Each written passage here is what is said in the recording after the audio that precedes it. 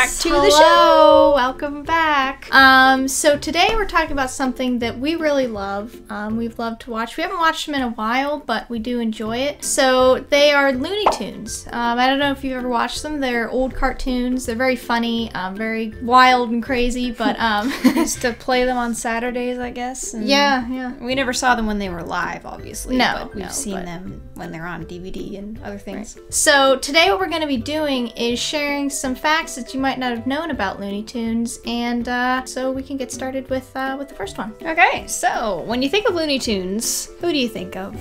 Come on. Bugs Bunny, Bugs right? Bunny, right. That's the one you think of off the top of your head. Yeah. Um, and then next you might think of Daffy Duck, Tweety Bird. I always loved Tweety Bird. It's always my favorite. Yeah. And sooner or later, the Tasmanian Devil, or Taz, will come into your brain. Um, although Taz is considered one of the most popular and memorable characters on Looney Tunes, he surprisingly appeared in just five shorts. Yeah, I did not which know I wouldn't have thought because he's very know, he's recognizable. everywhere. Yeah. Um, as he debuted in 1954, which was just before the studios closed 10 years later, so he was a later one. However, Taz became very popular in the 1990s due to other television appearances, heavy merchandising and marketing, and eventually they even made his own show called Taz-Mania. So the next one is you might wonder why Looney Tunes' sister show um, was Merrie Melodies because it's kind of odd, like a musical reference to like comedy cartoons. Well, the real reason behind this musical um, title is that the series was first developed to showcase Warner-owned um, music for this, like the sale of sheet music and uh, phonograph records. Um, the names were also inspired by Walt Disney's musical series Silly Symphonies, and it was to compete with Disney's Mickey Mouse cartoons. Warner Bros. Um, decided to develop a cartoon series called Looney Tunes. So a year after Looney Tunes started in 1930, um, Merrie Melodies became a sister show, um, having similar characters and like the same kind of stuff to it. So Merrie Melodies was made to accompany Looney Tunes. It kind of just was supposed to be music to go along with like um, Warner Bros. music, but then they decided to make kind of two shows that were very similar, Looney Tunes and Merrie Melodies, and then they both kind of became the same kind of show because they have like the same crossover characters in their two universes. It was supposed to be just the uh, the Looney Tunes, and then they added the Merrie Melodies as a show too. Right, so it's like they the whole idea of it being a universe of a series, but they're like separate parts of it. Yeah, So- they're like they're like two different shows, but Right. Merrie Melodies was supposed to be just fun music. Yeah. So Bugs Bunny is definitely one of the most recognizable characters of all time. Mm-hmm. He is a classy cartoon character, and because of the incredible influence of Looney Tunes on the company that created them, Bugs became the corporate mascot of Warner Brothers, or Bros, however you say Yeah. that. In addition, he has his own star on the Hollywood Walk of Fame. Um, Bugs is a celebrated and important figure around the world, and as a result, he is the ninth most portrayed film personality in the world. Can you believe Wow. that? He's just a cartoon character. Yeah, he's that's crazy. right. uh, so uh, the voice actor Mel Blanc was he's very important to Looney Tunes as he was the voice actor of dozens of characters. I mean, when you watch that show, he does most of the characters, honestly, in the whole series, um, including Daffy Duck, Porky Pig, Tweety Bird, Sylvester the Cat, uh, Yosemite Sam, Foghorn Leghorn, Speedy Gonzales, and Bugs Bunny. In addition to his uh, immense contributions to Looney Tunes, he also did voice acting for many other animated series, including um, the Flintstones, the Jetsons, and Tom and Jerry. When he passed away in 1989, as a part of his will, his gravestone reads, That's all, folks, um, which is a reference to the trademark catchphrase of one of his characters, Porky Pig. Um, at the end of like Porky Pig's shorts, he would say, that, that That's all, folks. So Witch Hazel, which is a very funny play on words, um, actually they did that a lot in Looney Tunes. yeah, it is. Um, because witch hazel is a widely known plant. Uh, well, it was widely known. I don't Yeah. know if it is anymore, Yeah. but it was. um, it has a lengthy history of use in the Americas. Uh, the plant, including a crude leaf and bark, is used in a variety of forms fluid extracts, poultices, and most commonly as Witch Hazel Water. It is the only character to date to appear in both Warner Bros. and Disney shorts. So they took the witch hazel and turned it into an actual witch. and it's funny because the only reason I know Witch Hazel is is because in Seven Brides of Seven Brothers, when they all beat each other up, she's like giving them all Witch Hazel. Oh, The water stuff. They're always like Witch Hazel. Put it okay. on my eye or I knuckle don't remember or that. whatever. okay, so the next one is um, before Tweety Bird was called Tweety Bird, his name was actually supposed to be Orson. Orson the bird. that is wow, that's a big Orson, change. huh. Orson to Tweety. Um, and actually, he was originally supposed to be pink, not yellow. So a pink bird named Orson. That would be. I don't know if that would catch on. I like. I like Tweety. Yeah, I liked it. They probably thought that, you know. probably Orson might not be good for a little Yeah. tiny bird. So Sylvester's name is a pun on Sylvestris, the scientific name for wildcat, and his character certainly fits with that name. Um, he's always acting very wild if you don't know who he is. um, and that is another fun one that's based on the wordplay that they like to do. Yeah, yeah. Um, so Yosemite Sam is actually better known in France as Sam the Pirate. That's because the French have become more used to seeing the pirate version of himself because um, most of the characters actually have variations to them the way they look and dress. So I guess they they're used to seeing him as a pirate and not a cowboy. So the first ever character in Looney Tunes was Bosko. Not Bosko, Bosko. yeah.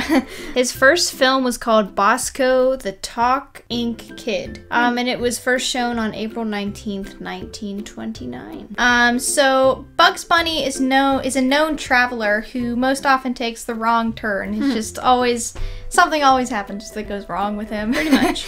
um, so this is why you see him in so many places with the cartoons, like the Himalayas and Antarctica. Um, however, few people are aware that. Uh, Bugs Bunny was originally from what, where he, where he was born, um, and he's actually born in Brooklyn, New York, in the show. There you go. Fun fact. Um, okay, so Private Snafu appeared in 26 training shorts for the U.S. Army during World War II, though the shorts were more entertainment for the soldiers than like actual instructional Yeah. videos. Private Snafu's shorts were not available to the public until very recently. So, uh, in case you ever wondered what the letter E stands for and why Wile E. Coyote, um, the one with uh, what's what's the bird's name? Uh, Roadrunner. Roadrunner. Yeah, it's That's always just what it's called. Yeah. it has a name. yeah the Roadrunner. It's always the wolf. Uh, their coyote is always trying to get to the Roadrunner, but he never gets him. Um, so the E actually stands for Ethelbert. You knew that, didn't you? You would have guessed that if we hadn't told you. Wow. I'm sure you would know. That is hilarious. Wiley Ethelbert Coyote. I love those old names. I don't know if I've ever heard. I've heard of Ethel and Bert, but together, I don't think I've ever heard that. So even though she was not the original voice for Granny, June Foray is the most well known for voicing Granny, and she did voice for the longest. Um, she started back in 1955, and 60 some years later, she continued to voice Granny till her death in 2017. That's a long time to voice Granny. That is. Well, it is a granny though, so you get older. I guess it still it still works. It's just you don't even have to pretend anymore. Yeah. It's just a normal voice. Right. Um. So Marvin the Martian was actually never named in the original Looney Tunes shorts. That was much later that he got a name. How about that? Yeah. Elmer Fudd is the only major male Looney Tunes character not voiced by Mel Blanc. Uh, he was voiced by Arthur Q. Bryant, and his singing voice was done by Roy Rogers in 1938 uh, in the cartoon A Feud There Was. So he had two voices. So another Bu- Bugs Bunny thing. Um, Bugs Bunny was officially drafted by the U.S. Marine Corps during World War II as a private first class. Of course he was. I bet that was just kind of a fun thing for the soldiers to do. You know. Yeah. Foghorn Leghorn was actually based on another character, Senator Beauregard Claghorn, a character from the Fred Allen radio show. He was also the only major Looney Tunes character whose physical design never changed. The only one. Okay, so Bugs Bunny, he was very rarely ever beat. Whatever he was getting into, he always was the winner. But funny enough, uh, Cecil the turtle beat Bugs Bunny in all three of the cartoons. That he appeared in. Of course, you get beat Yeah. by a turtle. Of course. it's the whole hare and whatever that fable is. Tor- tortoise, Tortoise and the hare. Tortoise and the hare. Yeah. Yeah. That's probably why. Daffy Duck was the original star and main focus of Looney Tunes until Bugs Bunny appeared. After that, Looney Tunes made Daffy jealous of Bug and they became rivals. With the passage of time, however, they did eventually become friends. They It's did. like Jim and Dwight in cartoon form. Uh, so before we say this last fact, um, we wanted to give a shout out to the person who actually gave us the idea for this episode. Um, You know who you are. Oh yeah, We're gonna say it anyway.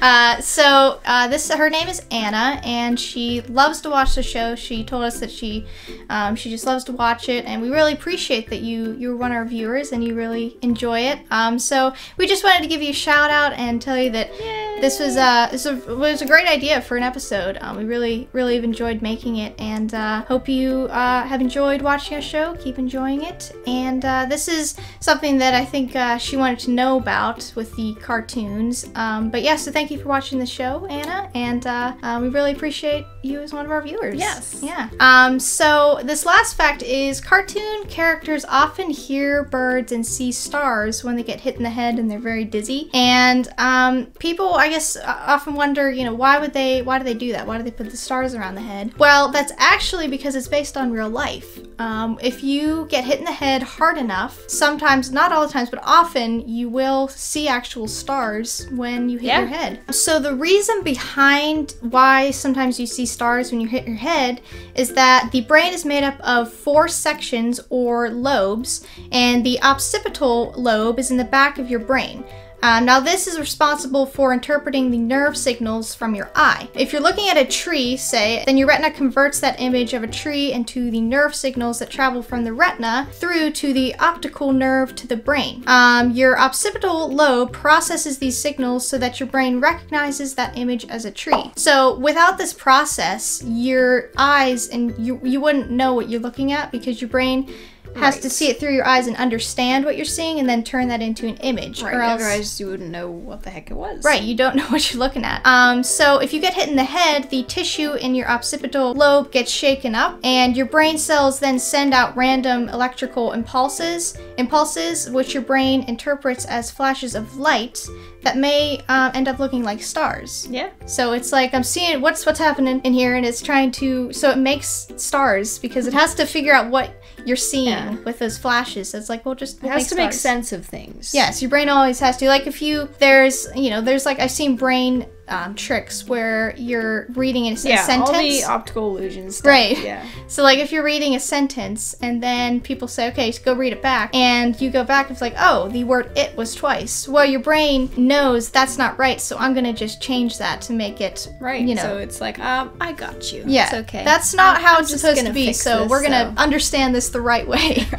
Right. so now the birds chirping. That is just that's not real. That doesn't actually happen when you hit your head. That was just added by um, the cartoon people, I guess. What would you say? I mean, yeah, Animators, It probably was just to make it. You know, you, gotta have sound effects in cartoons. You do. So, um, they they uh, we think we're not exactly sure why they chose chirping birds, but I think they just thought that would be the closest sound to how they thought it would dizziness would sound. right, If it was like a, sound. cuckoo clock or something Right. Yeah. So that's why they added that. Um, so now you know um, why they see stars and chirping birds. And Um, don't hit your head. It's yeah. really good for you. So again, thank you, Anna, for this uh, I- idea for an episode. Thank you for watching. And now it is time for the news.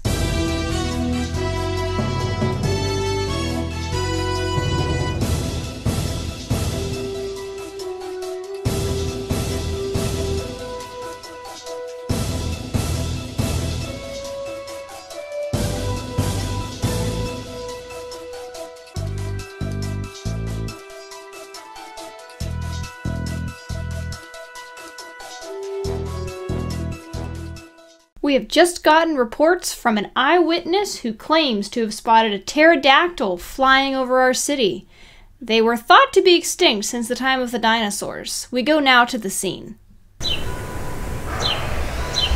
Thank you, Laura. We are now at the scene here. Let's come over and see our eyewitnesses. Excuse me. Excuse me. Thank you. Thank you. Yes, you too. Thank you. So, what did it look like? Oh, you say it was bigger than anything you've ever seen flying before. Correct? You have anything to say back there? Hello? Did, did anyone else did, did anyone else see it? Hello? Back to you. Thanks for that. We we appreciated the commentary.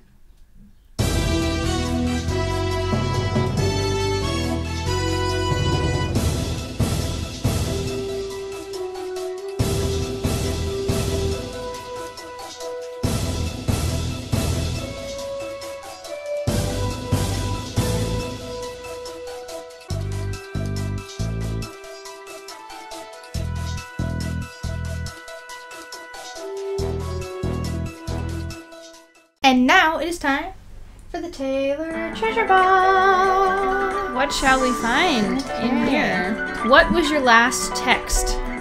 Let's go find out. Hmm. Says, okay, take your time. Oh, wait, is this what someone sent to me or I sent to them? You sent to them. Okay.